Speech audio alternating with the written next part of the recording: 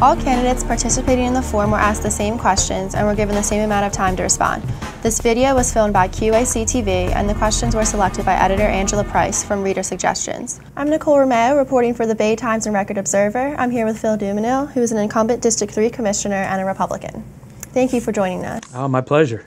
In two minutes or less, tell us a little bit, a little bit about yourself and why you would like to continue being a commissioner. Two minutes or less.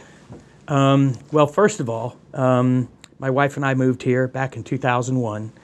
Uh, I have uh, three children, uh, all attending uh, public schools here in Queen Anne's County.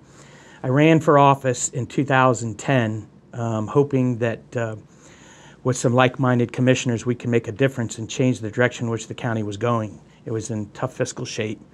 Um, fast forward to where we are today, we're in much better financial shape than we've been in a long time.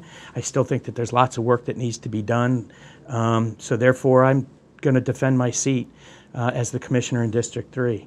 Um, it's important. We've, our commercial tax base is, is up. It's, uh, it's the highest it's been in years.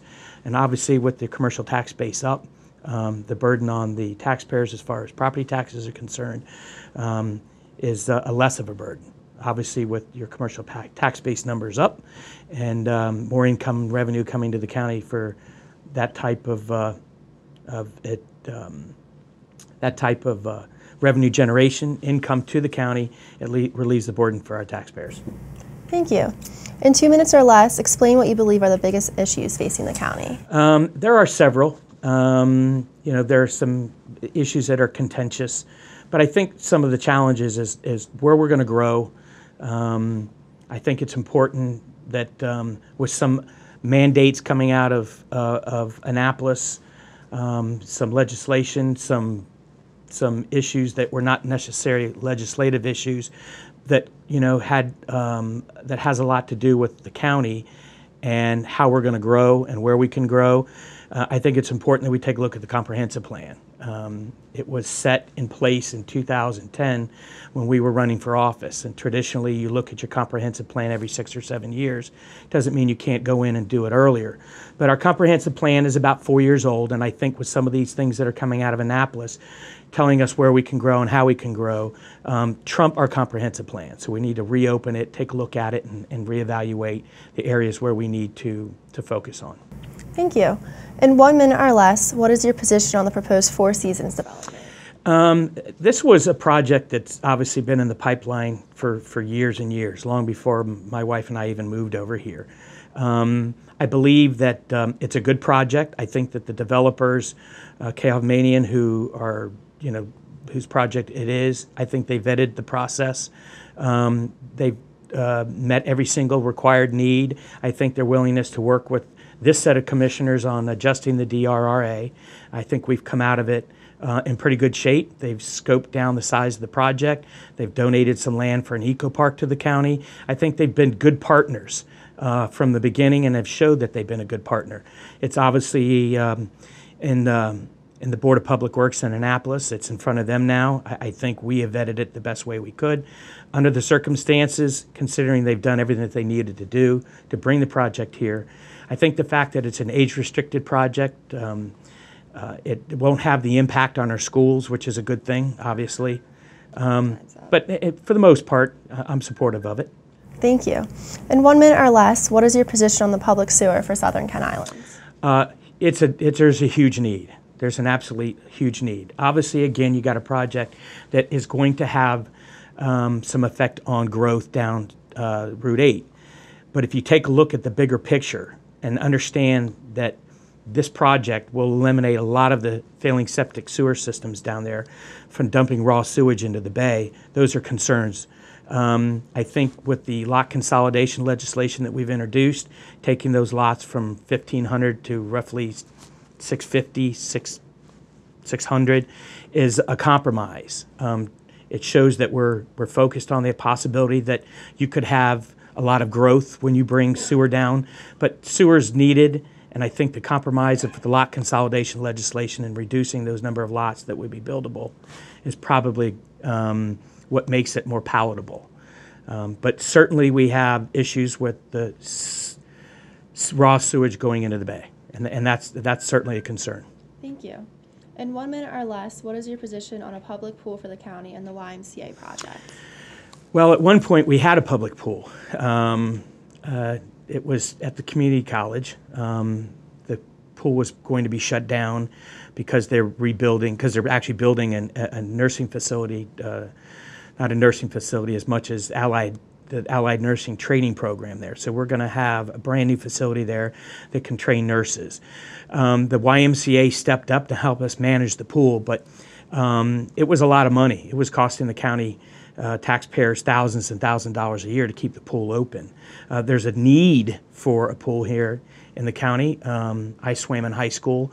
Uh, I know that um, we have some competitive uh, swim teams at both our high schools, and it's difficult for them to have to travel to Easton to, to train. So if we could have a facility here um, that allows both schools to train and have you know competition meets, um, that's a good thing. And I think the YMCA will help bring us bring that re- bring that to reality. Thank you. In one minute or less, what is your position on the new parking permit required to access public beaches at any at county parks, commonly being called the beach permit? This was a recommendation that came from the Parks Advisory Board. Um, the Parks Advisory Board is a commission that is uh, appoint, its members are appointed by the commissioners, and they serve um, to help the commissioners make educated decisions. Um, we have some problems uh, with our beaches, with cleanliness, people using them after hours, uh, trash being left behind. We have a policy that you carry in, carry out the trash that you bring in, um, but it hasn't worked. Part of the, the problem is um, that when we took office, with the county realignment that took place in 2012, we cut a lot of our man, um, a lot of the, the departments, uh, cut them by 30, 35, 40%. So a lot of that was staffing. Um, so a lot of the things that were, that were in place before we came into office, we had to cut. One of them was personnel um, to manage those beaches and keep them clean. And, and so this is a fee that we're going to collect that will be dedicated to uh, making sure that those beaches uh, stay clean. Thank you. In one minute or less, please describe your plan for achieving the county's stated goals of controlling growth while promoting economic development. Um, again, I had mentioned earlier, we have to take a look at our comprehensive plan. Um, we have designated growth areas, um, both for commercial and residential. Our existing comprehensive plan says we have roughly 3,000 um, available homes that can be built. Now, you know, and I know that it's not something that's going to take place in four or five years, uh, but we have the capacity in our sewer system for it. Um, but when you have people, when you have the population density, then the businesses will come. We want movie theaters, we want bowling alleys, we want things like this. But to get um, folks to be interested in coming to Queen Anne's County and open up these businesses, they have to be able to justify the population to warrant that type of expense on their part. So, um, but we've got economic development incentive fund. We've got a group of people that are reviewing applications for that, um, and we're doing everything we can to try to promote Queen Anne's County. We're looking at bringing somebody in specifically to that will be their only responsibility is to promote tourism and economic development in the county. Thank you. And finally, in one minute or less, would you like to revisit any of the issues we've discussed or add anything we've missed talking about? Um, I think uh, really uh, the sewer down Route 8, um, you know, we have um, mandatory uh, reductions, our TMDLs, total maximum load uh, reductions of nitrogen, phosphorus, and sediment that are going into our bay due to these failing septic systems. So we, um, as a county, along with other counties in Maryland, have been tasked by the Maryland Department of the Environment and the federal equal to that department to reduce these loads of nitrogen, phosphorus, and sediment that are going into our bay. With this sewer down Route 8, um, we're going to accomplish close to 33% of our reduction of, of nitrogen that goes into the bay. So these are credits that we're getting and um, towards our, our watershed implementation plan, our WIP team, our WIP plan to try to hit those numbers that we are mandated to hit by 2025. This is going to be a huge expense in hitting those reductions by 2025 to the taxpayers. So if you think about sewer down Route 8 being um, a, project that's going to help us reach those reduction goals and solve a problem with, with uh, contaminating the bay, I'd say sewer is probably one of the most important things we're working on now. Thank you. And thank you for participating in our forum. Ah, I appreciate the opportunity. Thank you, Nicole. To watch other candidates who have appeared in the series, please go to either the QAC TV YouTube channel or visit myeasternshoremd.com. Thank you for watching.